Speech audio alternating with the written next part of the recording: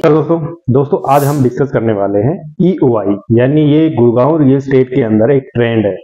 और आज तक जितने भी प्रोडक्ट पिछले चार पाँच साल की अगर हम बात करें तो ज़्यादातर जो डेवलपर हैं, वो ई के कंसेप्ट के ऊपर प्रॉपर्टियाँ वो सेल करते हैं। तो आज के इस वीडियो में हम क्या डिस्कस करने वाले हैं कि ये ई क्या होता है और कब कस्टमर ई दे सकता है। ई से डेवलपर को कितना बेनिफिट है और ई से कस्टमर को कितना बेनिफिट है। और ई से प्रॉपर्टी खरीदनी चाहिए या आप रेरा की प्रॉपर्टी है, उस टाइम खरीदनी चाहिए। आप ईवाई देने से आपको बेनिफिट कितना हो सकता है, ये डिस्कस करेंगे और क्या ईवाई रिफंडेबल है और क्या ईवाई एक लीगल है। तो हम सभी टॉपिक के ऊपर आज यहाँ पे डिस्कस करने वाले हैं कि व्हाट इज़ ईवाई सबसे पहले हम इसको समझ लेते हैं कि ये क्या है? इसको बोला जाता है एक्सप्रेशन ऑफ़ इंटरेस्ट यानी आपने किसी भी प्रॉपर्टी के अंदर अपना इंटरेस्ट है, वो शो किया है। इसको हम एग्जांपल के साथ डिस्कस करते हैं। मान लीजिए एक एक्स डेवलपर है, ठीक है? उसने एक प्रॉपर्टी स्टार्ट करी तीन करोड़ रुपए की, ठीक है? उसने बोला कि भाई मेरा, है ना प्रॉपर्टी का जो रेरा है, वो जो रेरा है, वो रिसीव्ड होगा आफ्टर थ्री मंथ के अंदर। ठीक है? और आपका थ्री मंथ के के बाद ये जो प्रॉपर्टी तीन करोड़ की है, ये साढ़े तीन करोड़ की हो जाएगी। अब आपके पास है ना ऑप्शन होता है। ठीक है भाई, मैं तीन महीने तक क्यों वेट करूँ? क्यों मैं यहाँ ये प्रॉपर्टी है ना, इस महँगे रेट के ऊपर खरीदू?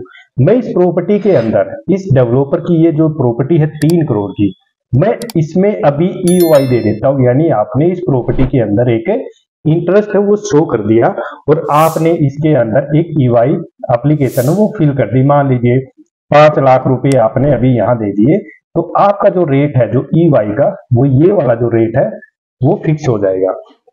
इसको बोलते हैं कि कोई भी प्रॉपर्टी के अंदर आप, एक प्रेजेंट के अंदर जो रेट है, उसके अंदर अगर आप कोई टोकन देते हैं ई वाई एप्लीकेशन फिल करते हैं तो उसके अंदर उसी रेट के प्रेजेंट टाइम में जो रेट है, वो आपका लॉक हो जाएगा।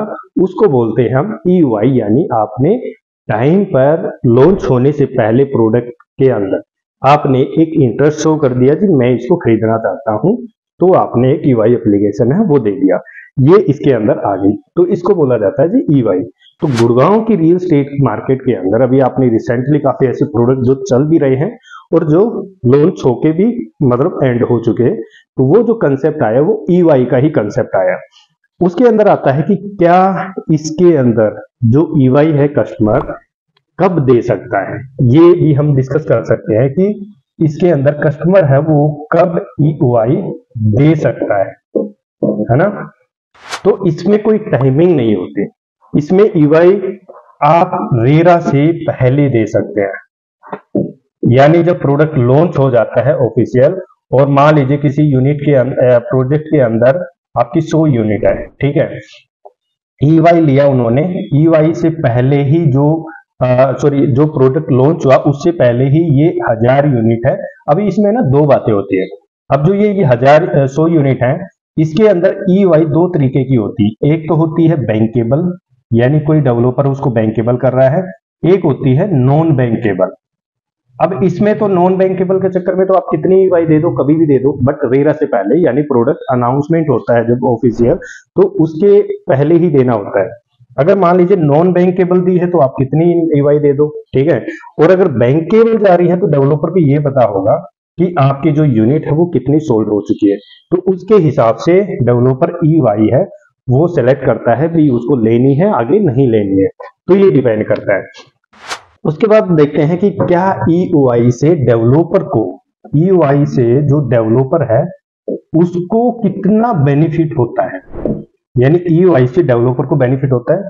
देखो, इसमें ना दो तरीके की बातें आती है कि पहले जब प्रोडक्ट लॉन्च किए जाते थे, वो डायरेक्ट रेरा के ऊपर होते थे, है ना? जैसे मान लीजिए किसी प्रोडक्ट का आज रेरा आ गया तो उसने जो लॉन्च किया, मान लीजिए उसने बारह हज़ार रुपए का रेट है, वो लॉन्च कर दिया। और जिसने खरीदना चाहा वो खरीद लिया। तो ये प्रोडक्ट तकरीबन तकरीबन पाँच से छह महीने तक है, वो चलते थे। तो डेवलपर का जो टाइम है वो ज़्यादा लगता था इसको बेचने के लिए और किसी भी प्रकार के कोई ज़्यादा ऑफ़र वगैरह वो नहीं होते थे और प्रॉपर्टी को रिसर्च करने में कस्टमर के पास टाइम होता था। ठीक है? अब क्या हो गया है कि डेवलपर ने क्या किया है कि भाई, मैं है ना एक ई वाई है, वो ले रहा हूँ। ये रेट आएगा जी बारह हज़ार रुपए का। तो मैं आज इसको है जे साढ़े दस हज़ार रुपए ई वाई के ऊपर है ना कस्टमर को दे देता हूँ। तो ये कस्टमर का एक ई वाई बेनिफिट हो गया। यानी पंद्रह सौ रुपए की जो प्रॉपर्टी है, आज वो सस्ती होगी। तो यहाँ पे कस्टमर क्या करेगा, अपना इंटरेस्ट है वो शो कर देगा। तो डेवलपर को ये पता होगा कि उसकी जो प्रॉपर्टी है, वो कितनी मतलब बिकने वाली है, उसका कितना इंटरेस्ट लोग शो कर रहे हैं उस प्रॉपर्टी के अंदर। तो जैसे ही डेवलपर को यहाँ ये पता होगा कि साढ़े दस में मान लें उसने प्रॉपर्टी है, जो ईवाई है वो ले लिया और इस प्रोडक्ट के अंदर है ना वो 500 यूनिट है टोटल और इसके पास जो ईवाई है दस हज़ार के रेट में, साढ़े दस के रेट में, उसके पास प्रॉपर्टी में जो ईवाई है वो दो हज़ार ईवाई है, वो आ चुकी है. ठीक है? अब डेवलपर क्या करेगा कि जब प्रोडक्ट को लॉन्च करेगा ना तो ये डायरेक्ट 500 यूनिट नहीं ओपन करेगा. लेकिन बाज़ार को वो दिखा देगा, जी उसने तो 500 यूनिट है, वो बेच दी है। बट ये यहाँ पे क्या करेगा, इसमें से 100 यूनिट या 150 यूनिट वो अपने पास रखेगा, बट बाज़ार को नहीं बताएगा। इससे डेवलपर को बेनिफिट होता है, क्यों? क्योंकि जब इसके अंदर लोगों को ये पता होगा कि इस प्रोडक्ट की तो वैल्यू बहुत अच्छी है, लोगों ने यहाँ पे इंटरेस्ट है, वो बहुत अच्छा शो किया है तुरंत बाज़ार में कर देंगे 100 परसेंट सोल्ड आउट। तो यहाँ पे यूनिट है वो डेवलपर फिर आगे महँगे रेट पे बेचेगा, यानी जो ये बारह हज़ार है, इससे ऊपर हम तेरह हज़ार रुपए अगर बेचेगा तो भी ये माल बिकेगा। जो माल उसने ये सस्ते रेट में बिका, बेचा है, वो उसकी भरपाई वो यहाँ कर लेगा। हो सकता है ये और ऊपर रेट में जाके आगे भी इसको बेच सकता है। यानी यहाँ पे जो ईवाई का जो बेनिफिट है उस डेवलपर को बहुत ज़्यादा होता है। ठीक है, अब बात करते हैं कि जो ईवाई का जो बेनिफिट है, वो कस्टमर को होता है या नहीं होता है। उसके ऊपर बात करते हैं। इसका भी एक एग्जांपल ले लेते हैं। एक एक्स प्रोडक्ट है, ठीक है जी? उस प्रोडक्ट के अंदर हज़ार यूनिट है। ठीक है? मैंने एक एग्जांपल ले रहा हूँ। किसी मैं प्रोडक्ट का या किसी उसका नहीं, मैं ले रहा हूँ। एक एक्स प्रोडक्ट है जी, उसके अंदर हज़ार यूनिट आपकी हो गई। उस प्रोडक्ट के अंदर ही टोटल हज़ार यूनिट है। अब एक मैं आ, यानी करंट टाइम का मैं ले लेता हूँ जी। उस प्रोडक्ट के अंदर जो आज का रेट है जी वो है दस हज़ार रुपए पर स्क्वायर फीट का। ठीक है जी? और उसका जो लॉन्च प्राइस है जी वो है जी आपका बारह हज़ार रुपए पर स्क्वायर फीट का। ठीक है? ये ये जो रेट है ये है ई वाई प्राइस और ये है जब ऑफिशियल प्रोडक्ट है वो लॉन्च होगा जब उस प्रोडक्ट का जब रेरा मिल जाएगा। तो मोस्टली जो ई e है वो रेरा से पहले ली जाती है, ठीक है?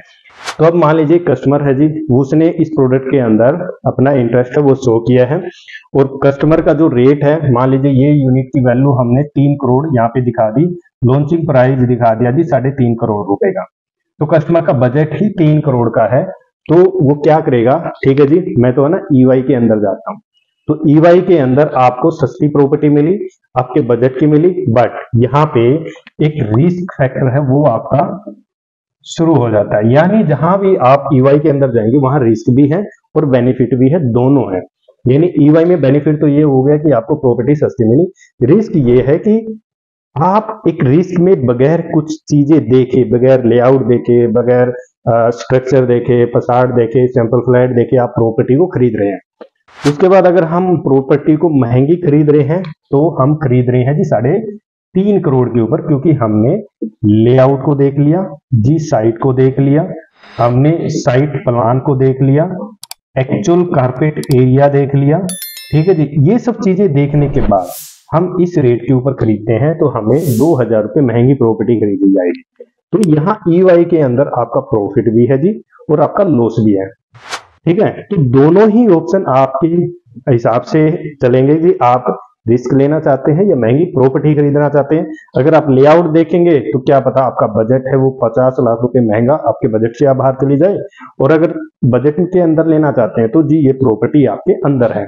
तो अब मैं इसमें एक टॉपिक और ऐड करता हूँ कि ई वाई किन लोगों के लिए बेनिफिट है? तो ये उन लोगों के लिए बेनिफिट है जो रिस्क लेना चाहते हैं ठीक है? उन लोगों के लिए बेनिफिट है और किसी का तीन करोड़ का बजट है और वो प्रॉपर्टी आगे साढ़े तीन करोड़ की होगी। तो ये तीन करोड़ वाले के लिए ये बेनिफिट है। ठीक है? यानी ई वाई रिस्क है बेनिफिट विदाउट एनी आप किसी भी प्रॉपर्टी का लेआउट देखे बगैर ही प्रॉपर्टी के अंदर हो रहे हैं तो आपका कहीं न कहीं आप ये सोचेंगे कि रिस्क है कि नहीं है। इसका मैं आपको आगे पॉइंट बताऊँगा कि ये प्रॉपर्टी ये यू आपकी रिस्क है, नहीं है। तो इसका डिस्कस भी मैं आपको आगे दिखा बताने वाला हूँ। अब एक पॉइंट और आता है कि जो ईवाई e के अंदर प्रॉपर्टी के अंदर एंटर होना चाहिए, नहीं होना चाहिए, ये भी थोड़ा सा ज़्यादातर लोग थोड़ा घबराते हैं, क्योंकि ज़्यादातर जो डेवलपर हैं, वो ईवाई e रेरा से पहले ही बैंकेबल कर लेते हैं। तो उसमें लोग घबराते हैं कि उनको क्या करना चाहिए। लेकिन उसमें क्या है कि एक चीज़ है कि जो ईवाई e होती है ई वो हंड्रेड परसेंट रिफंडेबल होती है। ठीक है? आपने किसी डेवलपर के अंदर या किसी प्रॉपर्टी के अंदर आपने ईवाई e दे दिया बैंकेबल दे दिया, पंद्रह लाख, बीस लाख, तीस लाख, पचास लाख का जो ईवाई e अमाउंट है, आज आपने एक अमाउंट है, चाहे वो आपका आरटी जैसे आपने किया चेक दिया है तो आपने प्रॉपर्टी के अंदर है, वो लगा दिया। ठीक है? तो वो मान लीजिए जब रेरा आता है, रेरा के ऊपर सारी चीज़ें आपके सामने ओपन होती हैं तो आप कहते हो जी, ये प्रोडक्ट मुझे नहीं पसंद आया। ठीक है? तो जो ईवाई e आपने दी है, वो 100 परसेंट आपके वापिस अकाउंट के अंदर रिफंड हो जाती है। ठीक है जी? ये कोई गवर्नमेंट के अंदर नहीं आती। ठीक है जी? कोई गवर्नमेंट का क्लोवर नहीं है कि ये गवर्नमेंट ने बना रखी। नहीं, ऐसा कुछ नहीं है, क्योंकि ई वाई डेवलपर ले सकता है इंटरेस्ट शो करवा सकता है। तो आप ई e वाई को सेव मान सकते हैं, क्योंकि आप 100 परसेंट जो ई e वाई है, वो आपकी रिफंडेबल होती है। यहाँ आपसे नहीं कितना ही पैसा यहाँ पे आपने दिया हो। जो ईवाई e मान लीजिए कई डेवलपर ऐसे होते हैं, उनका जो वर्किंग करने का जो स्टाइल होता है, वो ईवाई e बाज़ार से कलेक्ट कर लेते हैं, लेकिन कलेक्ट होने के बाद प्रोडक्ट को जंप कराना है तो वो बैंकेबल उसी टाइम करेंगे कि उनके पास, क्योंकि नॉन बैंकेबल चेक मान लीजिए एक कस्टमर है उसने एक चेक एक्स ब्रोकर को दिया, एक चेक वाई ब्रोकर को दिया, एक चेक उसको दिया अलॉटमेंट लेने के चक्कर में। तो यहाँ पे तो कस्टमर तो एक है, एक यूनिट खरीदने वाला, लेकिन उसने जो चेक है वो तीन ब्रोकरों को दे दिए, तीन एजेंट को वहाँ पे प्रोवाइड करा दे तो वो चेक वो काउंट हो जाते हैं तो डेवलपर को पता होता है कि मेरे इतने चेक हैं, वो आ चुके हैं तो मैं इस रेट को, इस रेट के ऊपर लॉन्च करूँगा, इसका तो जो डेवलपर है, उसको आइडिया हो जाता है कि आपकी प्रॉपर्टी ऑलरेडी बिक चुकी है तो आप उसको हाई रेट के अंदर या एक्स्ट्रा चार्जेज है, वो लगा सकते हैं तो इसमें क्या है कि डेवलपर गेम खेल जाते हैं तो उनको बेनिफिट है, वो हो जाता है। पहले जब प्रोडक्ट बिकते थे तो तकरीबन एक एक डेढ़ डेढ़ साल तक प्रोडक्ट बिकते रहते थे, क्योंकि उस टाइम इस टाइप की चीज़ें नहीं हुआ करती थी। आज क्या है कि सप्लाई है ना, जो सप्लाई बाज़ार में, वो कम हो गई है डिमांड बढ़ गई है। कोई भी प्रोडक्ट आता है, उसमें 400-500 यूनिट आती है, कई प्रोडक्टों में तो 200-250 यूनिट हो जाती हैं बायर ज़्यादा होते हैं। तो यानी हाई राइज में ना आपकी जो यूनिटें हैं, वो कम हो गई हैं। पहले प्रोडक्ट आते थे तो 1500 2000 ढाई हज़ार, ऐसे यूनिट आते थे तो बिकता रहता था पोजीशन तक प्रोडक्ट तो अब क्या है कि अब तो पहले ही बिक जाता है। तो ईवाई e के अंदर आप बेनिफिट ये ले सकते हैं कि आप, एक तो प्राइस आपका लो हो जाता है, दूसरा आप जब उसको रीसेल करने जाते हैं तो जो रेरा के ऊपर प्रॉपर्टी खरीदता है और आपने खरीदी, उनके अंदर भी कई तरह की चीज़ें हैं, वो आपको बेनिफिट मिल जाता है ईवाई e का। तो कहीं ना कहीं हम ये देखें कि जो ईवाई e है वो स्कैम नहीं है, वो सेफ़ है। अगर आप दूसरे तरीके से देखेंगे तो स्कैम है, इसी हिसाब से देखेंगे तो सही है। क्योंकि अगर प्रॉपर्टी आपके हिसाब से है तो सही है, अगर प्रॉपर्टी आपके अगेंस्ट है तो वो स्कैम है। क्योंकि हम कभी भी अपनी गलती को कभी स्वीकार नहीं करते हैं। अगर हम ईवाई e के अंदर जा रहे हैं तो हम अपने रिस्क के अकॉर्डिंग जा रहे हैं। अदरवाइज़ तो डेवलपर तो कहते हैं जी आप रेरा के ऊपर प्रॉपर्टी खरीदें, सब कुछ देखें। लेकिन उस टाइम का जो रेट होता है, वो अलग होता है। उस टाइम जब हम खरीद रहे होते हैं तो हम जो रेट है, वो ईवाई e वाला चाहते हैं, जबकि पॉसिबिलिटी नहीं बनती है। तो अब जैसे कि मान लीजिए कई ऐसे डेवलपर हैं जो अभी प्रॉपर्टी को लॉन्च कर रहे हैं, वो रेरा के ऊपर ही बैंक करेंगे चेक को जाके। लेकिन ज़्यादातर जो लोगों ने जो ईवाई दे रखी उसका बेनिफिट डेवलपर देगा। लेकिन जब रेरा के ऊपर आप जाते हैं तो आपकी प्रेफरेंस है, वो बाद में जाती है, आपको अच्छी यूनिट नहीं मिल पाती है। आपको रेट भी वो नहीं मिल पाता है, आपको अलॉटमेंट कई बार तो मिल ही नहीं पाती आपकी चॉइस की, कि आपको कौन सी यूनिट चाहिए, वो यूनिट ही नहीं मिलती।